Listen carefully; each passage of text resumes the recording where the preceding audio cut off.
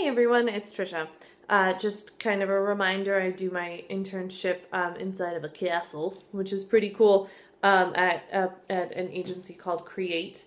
Um, and I do individual therapy um, with people who have um, mental illness. I do um, some work with kids and teens, some work with adults. Um, I just finished my um, group on writing and substance abuse um, with women in a homeless shelter, and um, that was really, really great. I, I didn't expect to be as excited about it as I was because it felt it felt a little forced at first, to be honest. so it felt really good, kind of ending it and coming to a conclusion. And the shelter itself, the woman who puts everything together, asked me to come back um, in January, which felt really cool to to that they they thought I did a good enough job that they want me to come back, which feels really really neat.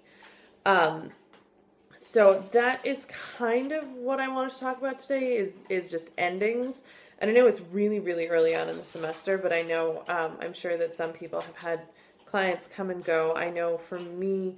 Um, I've had a bunch of intakes um, with clients who are supposed to become permanent clients, and they ended up not showing up or just never calling back. Um, and I've had a couple of clients who I've met with a few times, and then they just kind of drop off the face of the earth.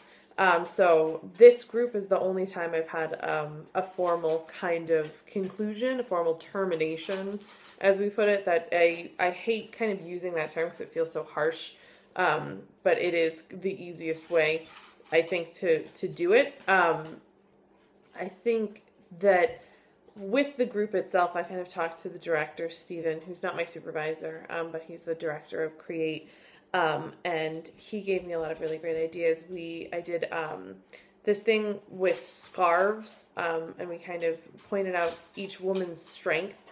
Um, so what we did was we took um, each woman took a scarf and picked out a strength they saw in another member of the group and then put the scarf at her feet until we had a circle going all the way around us. Um, and then we used that activity to kind of build on a poem where they just filled in lines about the strengths they saw in the other women, um, which they loved. They thought it was really great. And then at the end of the session, um, we went back into the room where the scarves were still laid out. Um, and they had all the women kind of gather them up um, and just put all of their energy into those and then throw them up in the air to kind of have a, a cathartic and fun way to end a group that for some of the women were saying were really sad. One of the one of the girls um, kind of jokingly said that she didn't give us permission to leave, so we weren't allowed to, which which to be honest felt really really cool um, because it felt really awkward and forced and strange for the first session. So on the next two, it felt the next three, it felt really great.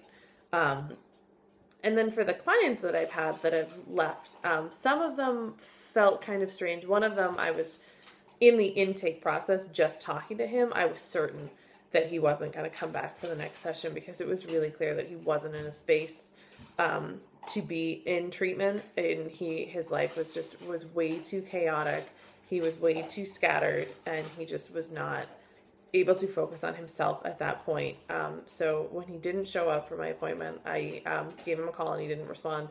And I came in um, on my next day that I was there, and I had a message saying that he rescheduled his appointment for the end of November, stating that um, he was going to be in another state for a while. So, and this was in probably the middle of October. So he rescheduled this follow up intake for a month and a half away, which I thought was kind of funny.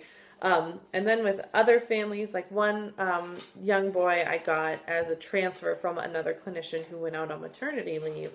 Um, and I got this kiddo because um, it it that's just how it worked out. He just went to another intern, and um, he I had one session and it felt really kind of forced and awkward, um, which I think can happen with young kids like that, young boys especially.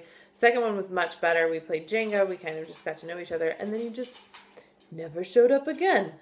So um, I think that that's that's kind of interesting. Um, and so I guess my question um, this week for everybody is more related to my um, group that I had. Does anyone have any like group activities that they've used or they've done with other um, groups of people or with individual clients, um, activity wise, that you thought worked really well or went really well. Um, I really look forward to hearing your responses, um, and I hope you guys are all having a great week. Okay, bye.